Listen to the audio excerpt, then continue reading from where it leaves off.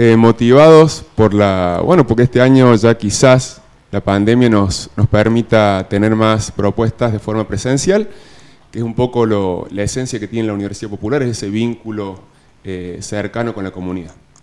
¿Y se ha inscrito mucha gente para los primeros cursos, talleres? Y largamos con tres cursos eh, a principio de marzo la inscripción y creo que fueron en, no sé, no llegaba a, las dos semanas que ya se completaron los cupos. O sea que hay una expectativa bastante alta en cuanto a la propuesta. Totalmente. Eh, ¿Qué cursos se están dictando en este momento? Y en este momento está, eh, se está dictando el de carpintería. Bien. Eh, que en ese taller se, se, arman juegos didácticos, ¿sí? Y después esos juegos didácticos se donan a alguna, alguna sala cuna o algún jardín de la zona.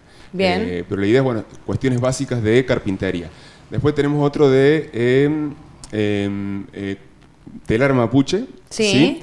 Eh, que también se completó el cupo, y el resto es de costura. Esos son los tres con los tres que largamos. ¿Y están cerradas las inscripciones y eso está copado? Esos tres sí.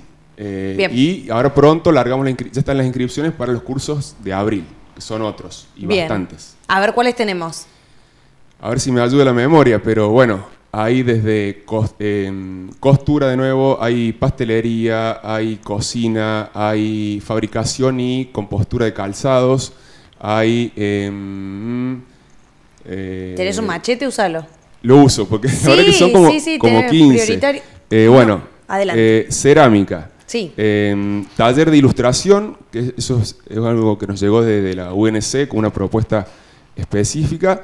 Después tenemos taller de fotografía de producto para quien tenga su, pyme o su negocio y quiera de alguna manera difundir su producto. Bueno, hay un taller específicamente para eh, negocios. Súper útil para quienes eh, venden en las redes sociales. Totalmente, sí, está, enfocado a eso. Bien, bien. Eh, bueno, no sé si dije cocina, cerámica, tenemos algunos de impresión 3D, ¿sí? pastelería, bueno, y hay más. Y hay algunos que son virtuales también, ¿no? Eh, digo, más allá de que la pandemia ahora nos permite, o, la retirada de la pandemia de alguna manera nos va permitiendo mayor presencialidad, continuamos con una propuesta de virtualidad también. ¿Eso significa, digamos, que se puede cursar online? Sí, algunos cursos, no todos, algunos cursos están, porque están pensados para ser de forma virtual. No es que uno adapte el curso a la virtualidad, sino que se piensan desde la virtualidad. ¿Cuáles son los requisitos para poder acceder a, esta enseñanza? Digo, ¿a un taller o a un curso? En realidad es inscripción, pero ser mayor de 16, años. Bien. Y bueno, no, no hay otro requisito. No es que tengas que tener domicilio en Colonia Carolla. Es más, recibimos en la Universidad ah. Popular, recibimos gente de Jesús María, de Sinzacate, de Tirolesa, del norte, más al norte, incluso de las Sierras Chicas. ¿Documento de identidad? Eh, ¿Algún requisito de culminación de primaria o cursado de secundaria? No necesariamente. No en algunos cursos específicos sí se necesitan ciertos saberes previos. Bien. ¿sí? Pero en su gran mayoría no. Es decir, no, no, no, no se necesita el certificado de para arrancar. Justamente la, la idea es que ciertos oficios Bien. lo pueden hacer personas que a lo mejor no terminaron eh, o no culminaron la educación obligatoria. O sea que puedo no haber terminado la secundaria y aún así acceder a un saber que me brinda la Universidad Popular de Colonia Carolla a partir de los 16 años. Exactamente. En el caso de quienes tienen 16, 17 años que son menores de edad, deben tener algún, alguna rúbrica de adultos responsables. No, no, no. Nosotros generalmente tenemos sí un vínculo bastante cercano con el estudiante. Bien. Y la idea es conocer justamente su entorno, conocer la familia, pero en realidad la propuesta eh, a partir de 16 años está habilitada. Incluso trabajamos bastante con las escuelas de la zona, también un poco como escuchando la demanda que tienen sus estudiantes. Digo, quien no está en la escuela, la idea es también generar una revinculación con la escuela, ¿sí? Es nuestra intención primaria. Bien. Pero no, eso no quita que pueda acceder a uno de los cursos. Y después, por otro lado, tenemos vínculos con la, con la escuela, para también escuchar la demanda que tienen de los estudiantes y poder brindar alguna capacitación vinculada a eso. Que es lo que te preguntaba fuera de aire, ¿no? Digo, ¿cuáles son los criterios que utilizan en la universidad para saber qué talleres y qué, o qué cursos dictar, ¿no? Yo decía, bueno, por ahí telar mapuche, pero ¿tiene salida laboral eso? ¿Quién lo hace? Me parece extraño a mí desde lo particular, entonces te traslado la pregunta. Está, es interesante ahí la, la inquietud. Eh, cada curso, o sea, generalmente desde la universidad tenemos un diagnóstico ¿sí? que se hace eh, constante durante el año, que nos permite arrancar el año siguiente ya con una propuesta en base a ese diagnóstico. Sabiendo ¿Sí? lo que la gente quiere estudiar Exactamente. o la necesidad que hay. Exactamente, como Mirá. siendo esa demanda. Y que el fin de esos cursos no siempre es una salida laboral. Ajá. Si bien uno de nuestros objetivos principales es brindar herramientas que te permitan eh, una salida laboral futura, Bien. también hay otra, otro tipo de interés que tiene que ver, bueno, yo quiero apropiarme de algún saber, de algún conocimiento que no lo tenía o que, o que quisiera profundizar y que a lo mejor no es con el objetivo de salida laboral, sino de poder, no sé, eh, resolver cuestiones hasta domésticas, ¿no? O de algún familiar. Digo, Bien. poder arreglar desde una canilla, Claro. cuando hacemos el curso de plomería, para no tener que llamar a alguien especialista, sino que puedo arreglar cosas en mi casa, o, el- o el- la compostura de zapato, por ejemplo. No tener que ir a un zapatero, Claro. que a veces es difícil encontrar. Dificilísimo. Difícil, no, ¿no? hay, no hay zapateros en la zona, hay po- muy poquitos en realidad, no es que no hay. Se ha perdido la tradición del oficio, esto es otra cosa que hablábamos recién fuera de pantalla. Por eso reivindico también el trabajo que hacen en la Universidad Popular por esto, de brindar oportunidades a jóvenes que por allí están cursando la secundaria o no han culminado sus estudios, sean jóvenes o no, que no hayan terminado la, la secundaria, y necesitan la herramienta del conocimiento, que no se les fue legada por la familia, entonces ¿dónde si no? Exacto. Y eso es pensar de manera popular.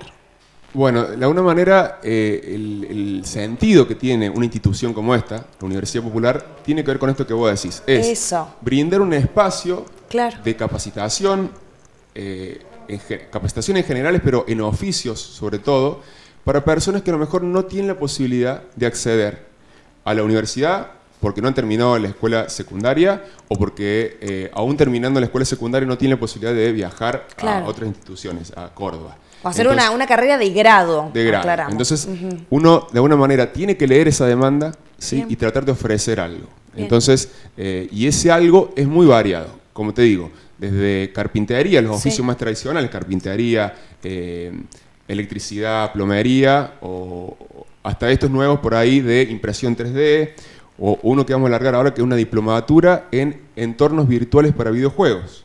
¿Qué es eso? ¿Qué es eso? Es una buena pregunta que yo no sé si te voy a poder responder. Pero... Pero lo pidieron los chicos seguro. Lo han pedido. Vos sabés que hay una economía del conocimiento, Sí. es todo un rubro que hoy está como en boga y que de alguna manera hay que también responder a esa demanda. Entonces, eh, mucha gente está eh, vinculada al mundo de los videojuegos, que es un mundo totalmente extraño para mí, pero muy cercano a otros. Increíble la Increíble. cantidad. Entonces, bueno, una diplomatura que te permite también pensar en eso como una posible economía, ¿no? Para moverse en la economía del conocimiento. Una fuente de trabajo. Digo, hoy nosotros vemos de manera permanente, y vemos, hablamos y estamos eh, girando en torno a eh, los chicos y las chicas que juegan, ¿no? Los videojuegos así, o porque no sé, están con el teléfono, o con, o con eh, no sé cómo se le llama, un videojuego. Punto. Este, el joystick, no me salía. ¿Y qué están haciendo? Y están jugando y están compitiendo al mismo tiempo. ¿Y cómo se diseña eso? ¿Quién crea lo que se ve en la pantalla? Aunque uno no lo crea, eso se ha transformado incluso en un deporte y es remunerado. Y hoy por hoy la juventud nos demuestra, dentro de esto que dice Javier, que es la economía del conocimiento, que no es necesariamente el hacer o manufacturar con las manos de manera artesanal, sino de una forma más virtual, que los chicos apuntan a eso. Exacto, hay como apunten eso y es importante intervenir también en eso, porque uno a veces eso accede a juegos que uno no sabe quién los creó y con qué con qué objetivos tienen esos Claro. juegos. que- bueno, poder pensar en, en formar personas que puedan después eh, justamente estar en esos lugares de creación, Claro. me parece que es importante. Muy los que crean los videojuegos. Bueno, tenemos varias experiencias acá. Lo quiero mencionar a Claudio Vicente, ¿eh? que en Colonia Carolla incluso es un referente en este sentido, que se ha transformado en un creador de, de contenidos y programador, diseñador eh, para las grandes ligas, ¿no? Digamos. Eh, y me parece fundamental mencionarlo, sí. Exacto, son ejemplos esos que hay que de alguna Sí. manera tomar como referencia y de alguna manera eh, permitir que otros también puedan hacer ese camino. ¿Y cómo hacemos para inscribirnos particularmente en esa diplomatura? Yo lo que les, les pediría es entrar a la página de la, la Universidad Popular, tiene una página web que es www.upcc.gov.ar y allí van a encontrar todas las propuestas para poder inscribirse. Bien. Eh, y digo, porque si no es mucha información, quizás se sature, pero se hace a través de la página o llamando Bien. al teléfono directamente 461-177, ahí se va a atender eh, y van a responder todas las demandas. Tony está con los, con los títulos. Te voy a pedir de nuevo el número de teléfono entonces. Muy bien, 461-177. ¿Estamos bien, señor director? Fantástico, ahí lo ponemos en pantalla entonces. Eh, ¿Y esa diplomatura, eh, cuándo empezaría? Esa diplomatura es dictada en forma conjunta con la Universidad Provincial de Córdoba. Bien. ¿Sí? Y eso arranca en abril. En abril, o sea, el mes que viene. ¿Y Sí, cuándo terminan las inscripciones? Eh, las inscripciones terminan a mediados de abril. El, día, no recuerdo si es 15 o 14 de abril, termina la inscripción. O Por sea que ahí. hay tiempo, hay tiempo. Perfecto. Bueno, y para todos los otros talleres lo mismo, podemos llamar y cursos a este número de teléfono o ingresar a la página web. Exactamente. Quien no tenga la posibilidad de acercarse, primero siempre la- la- lo invitamos a que se acerque a la Universidad Popular, a la sede central que está frente al Club Agrario o al lado de la bodega La Caroyense. Calle 19 y Avenida. Exactamente, referencia en esa cuadra. En esa ¿eh? cuadra, ahí llegarse eh, sería lo mejor. En caso que no se pueda, está el teléfono eh, 461-177. Y si no, desde su casa o desde su trabajo pueden acceder a través de la página web, Bien. ¿sí? que es www.upcc.gov.ar.